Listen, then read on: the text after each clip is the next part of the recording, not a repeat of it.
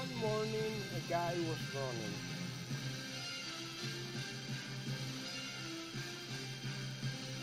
When a tiger got loose.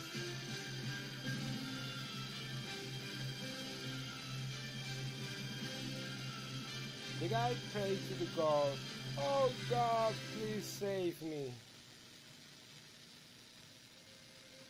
And Zeus, Zeus replied to him, You should pray less and run more.